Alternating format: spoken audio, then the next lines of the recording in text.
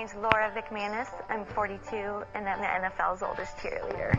I have always been into fitness, but with having children and kind of coming and going with all of my schedules, I had gained some weight and really stopped kind of taking care of myself, kind of lost myself. I went to a football game and saw the cheerleaders on the field and said, I really, I want to do that.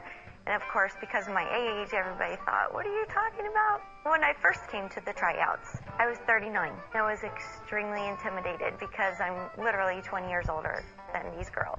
I went through the whole process up until finals. I didn't make it. So then that whole next year, I just really buckled down and focused on my fitness. I really felt like I just needed to do this for me. I tried out again and made it. It's a nice thing to realize that at any age you can step out and still have fun. My name's Tara Wilson, and I'm the Cincinnati Bengals cheer captain.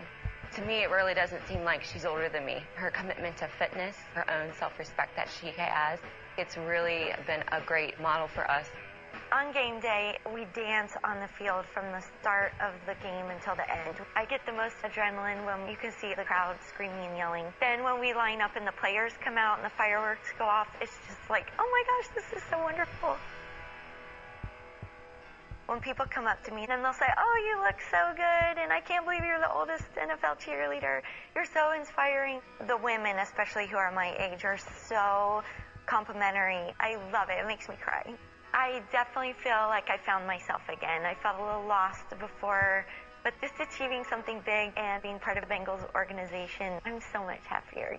I know that I'm older than all the players on the team by far. At least I'm not as old as the coach. He's a little older than me.